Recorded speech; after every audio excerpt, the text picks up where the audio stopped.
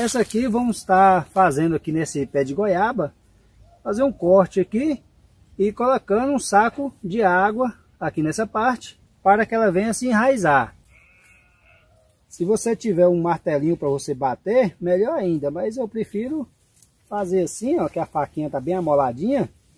Aí eu faço esse corte aqui, ó.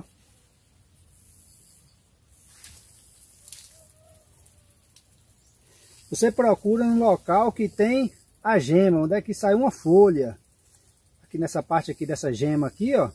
É bom você fazer que no lugar dessa gema nasce raiz. Olha só, fiz esse corte aqui, ó. Aí vamos estar tá encaixando um saquinho de água aqui, para que ela venha se enraizar nessa parte aqui, ó.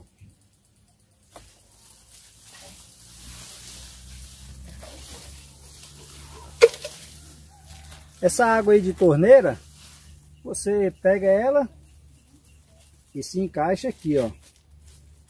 Estou fazendo em vários tipos de frutíferas e em ornamentais. Aí as que estiver dando certo aí, vou estar mostrando para vocês aí também o resultado.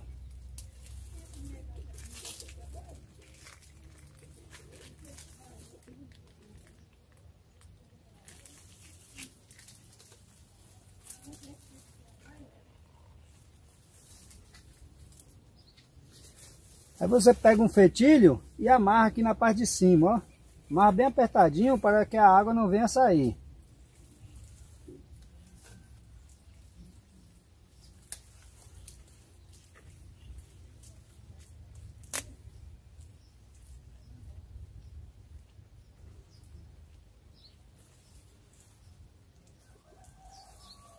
Olha aí.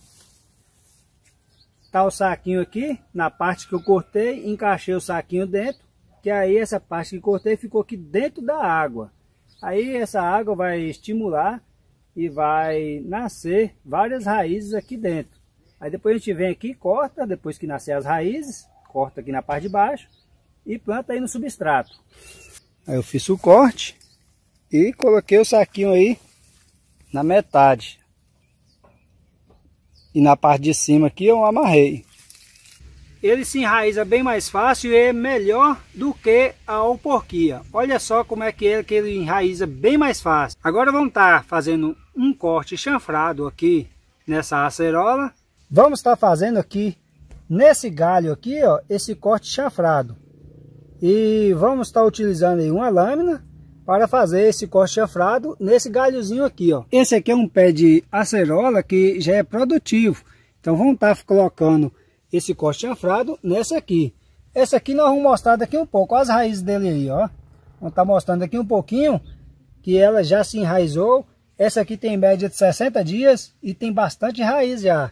Tá a mudinha pronta aí para ir para o vaso, então para o saquinho para você enraizar ela mais, para que ela venha se recuperar para depois ir para o local definitivo. E aí vamos estar tá fazendo o corte chanfrado nesse local, para vocês verem como é que a gente faz. Você utilizar a lâmina bem afiadinha, você dá um corte aqui até o meio, mais ou menos assim, ó. Aí você vai levantando a lâmina, puxando ele, chanfrando ele para cima assim, ó. Por isso que chama corte chanfrado, porque você vem chanfrando ele aqui, ó na metade, sem puxando ele aqui para cima, ó, dessa forma. Dá para vocês observar que a lâmina está aí dentro dele. E agora vamos estar tá enchendo esse saquinho aqui de água e colocando aqui dentro, encaixando aqui dentro desse corte, para que ela venha se enraizar aqui, ó, nesse local. Tá retirando aqui a lâmina. Olha aqui, o saquinho eu coloquei água. Isso aqui é água de torneira, água comum. E aí você encaixa essa parte aqui, ó. Você coloca aqui dentro do corte que você fez, ó. Dessa forma, ó. Coloca o saquinho aqui dentro. Que aí ela vai ficar essa parte que você cortou dentro da água.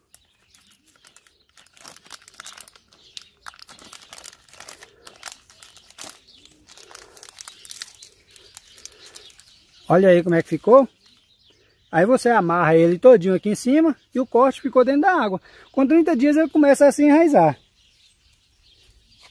Aí vocês me perguntam, é em qualquer planta que dá certo?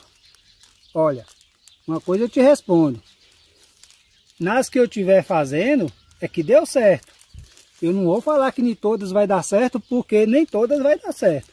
Mas as que eu estiver fazendo aqui, as experiências, vocês podem fazer com certeza que vai dar certo. Que eu vou estar tá mostrando o resultado para vocês. Para vocês não perder tempo. Por isso que eu, eu faço aqui primeiro e posto aí para vocês. Para vocês não ficar perdendo tempo aí fazendo coisas que não dá certo. Que tem muitas coisas aí que o pessoal posta, eles não testam antes. Aqui a gente testa e mostra o resultado. O que é importante nós não é fazer as enxertias e as alporquias e as mudas e é sim mostrar os resultados. Aqui já está pronto aqui, ó, esse corte chanfrado, e aí daqui 30 dias ela começa a se enraizar. Agora vamos estar tá mostrando uma que já tem 60 dias, ela não tem 30, tem 60 dias, vamos ver o tanto de raiz que já tem. A que já tem 60 dias é essa aqui, ó. Aí vão estar tá cortando aqui embaixo e mostrando para vocês aí o tanto de raiz que tem.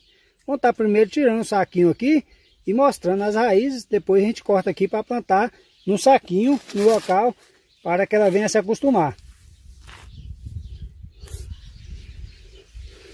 Vou estar utilizando aqui a lâmina para mostrar esse resultado aqui para vocês. Que o importante nosso é esse, mostrar esse tipo de resultado. Tirar aqui o fetilho. Olha aqui o tanto de raiz que tem, ó. Olha a água aí, ó. Vou até derramar água aqui para vocês verem, ó. Dá para vocês observar bem aí, ó, onde é que ela veio a raiz. Olha o tamanho dessa raiz, ó. Olha que linda raiz. Aqui no pé de acerola. Olha para vocês verem aí, ó. Bastante raiz mesmo, ó.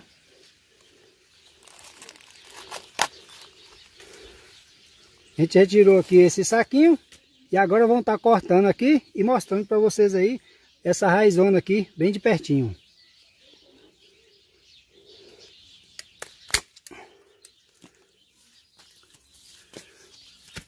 Olha aí para vocês verem, ó. Olha como é que tá. Nasceu essa raiz aqui, ó, porque a água até secou aqui, ó. Dá para vocês observar bem que está bem seco esse local. Tá sem água aqui porque a água foi secando e eu não observei. Aí ela nasceu só essa raiz aqui, mas ela nasce mais. Olha só, ela pode estar nascendo mais raízes aqui, mas nasceu só essa aqui, mas é o suficiente para que você venha até a muda com sucesso. Agora vamos estar enterrando essa mudinha aqui, ó, nesse saquinho aqui e deixando aí na sombra, com bastante claridade, para que ela venha a se recuperar. Tá a mudinha pronta aqui, ó. Ela vai começar, ela vai começar a produzir aqui rapidinho, porque já é uma planta que já é produtora. Colocando aqui na claridade para vocês verem direitinho. Olha só. Olha o tamanho dessa raiz que brotou dentro de 60 dias. Dá para vocês observar que é uma raiz que nasceu aqui, ó mostrar bem direitinho aqui para vocês verem que não tem erro nenhum. Olha aqui para você ver, ó. Tá bem seco o local que eu fiz o, o corte. E ela veio a raiz aí, ó. Agora vamos estar tá plantando aí e deixando na sombra, regando todos os dias na parte da tarde. Vamos estar tá jogando um pouquinho dessa terra aqui no chão para que nós não venha estragar essa raiz.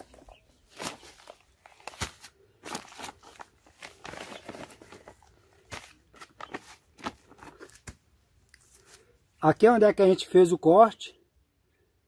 Esse corte ali na planta mãe. E agora vamos estar tá plantando aqui. Não precisa passar nada aqui não. Se você quer passar canela em pó aqui onde é que feriu, é bom. Mas eu não costumo passar nada não. Ela começa a se enraizar aqui também. Tá colocando essa raiz aqui para dentro aqui com cuidado para que não venha danificar essa raiz. E aí vamos estar tá jogando essa terra.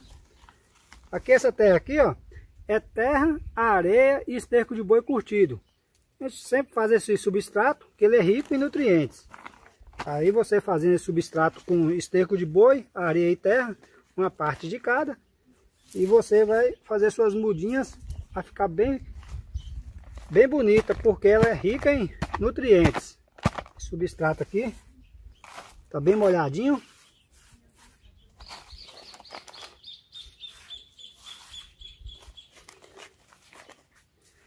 Tá pronta aqui a mudinha da acerola. Muito fácil fazer a muda da acerola. 60 dias.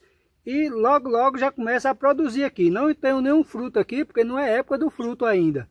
Mas esse pé de planta, ele produz bastante. Como não está na época da produção, o pé de planta está sem nenhum tipo de fruto ali agora.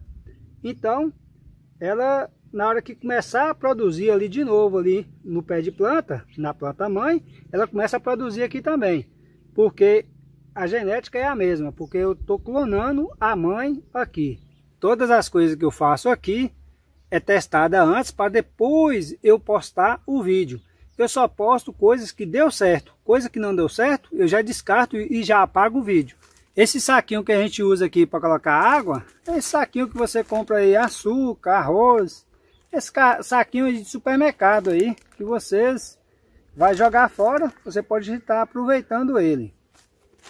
Desde que ele não esteja furado aqui nessa parte para que a água não venha a, a sair. Então ele tem que estar todo vedado aqui e não ter buraco nenhum. E para nós fazer o fetilho é os mesmos saquinhos também.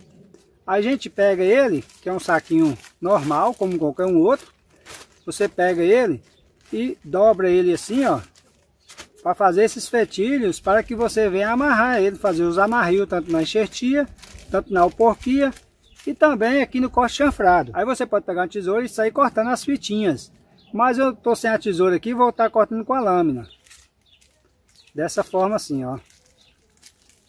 Geralmente o primeiro aqui eu descarto, aí do segundo em diante já está ótimo para fazer esses fetilhos. Olha só. Olha o fetilho aí, ó. Tá vendo? Aí você vai cortando e fazendo os fetilhos. Olha para você ver.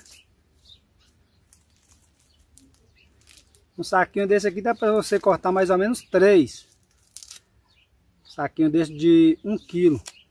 Esse saquinho que você compra açúcar, que vem um quilo nele. Dá para você fazer três fetilhos desse aqui mais ou menos. Então pessoal, para você colocar ela no local definitivo, você espera aí mais ou menos dois a três meses aqui nesse saquinho. Para que ela venha se recuperar, porque você fez uma cirurgia nela. Então ela tem que se recuperar e recuperar na sombra. Com bastante claridade, para que a, as folhas venham receber essa claridade, venham fazer a fotossíntese e venha a produzir mais raízes e cicatrizar o local que você cortou você tem que fazer esse procedimento deixando na sombra. Com dois meses depois que você fez isso, aí você já pode colocar no seu local definitivo. Se você não quiser, pode deixar ela até no saquinho assim também. Ou pode estar plantando no vaso, que ela vai produzir a mesma coisa. Mas você molha também todos os dias na parte da tarde, deixando na sombra e molhando todos os dias na parte da tarde.